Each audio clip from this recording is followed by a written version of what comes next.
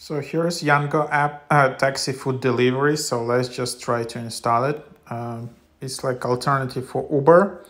Um, but I guess it's uh, available only in like in, in some destinations.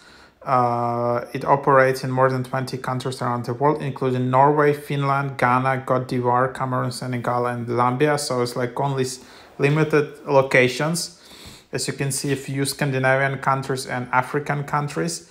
So maybe they're just kind of testing it out, this app. I'm not sure if this app is actually owned by Uber or not, so that's I can't give you the details. And then you can just uh, give uh, access uh, and then uh, change address. You can then just uh, add address so for example here and then just uh, yeah for example you can just enter then your confirmation number.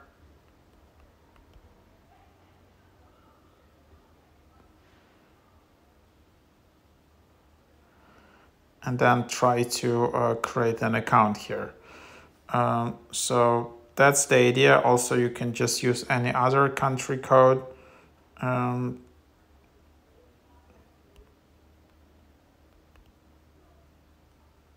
for example.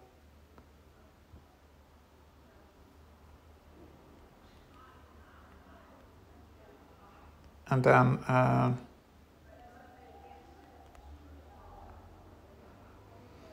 that's how you just create an account uh, and then you can add uh, cards. You can use Apple Pay uh, and then uh, just use Apple Pay, for example, and then myself or uh, yeah the idea and then you can just see here uh, the cars and uh, instructions.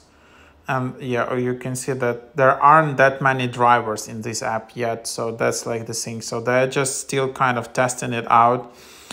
Um, so that's what it is. And then um, payment methods gifts and discounts. You can enter a promo code here. Um, and then that's what your details and then that's your history. So yep that's what it is. Um, that's uh, and then also you have scheduling right? So it's like the app is quite basic to be honest. It's very minimalistic but uh, it's easy to get started and yep so that's the idea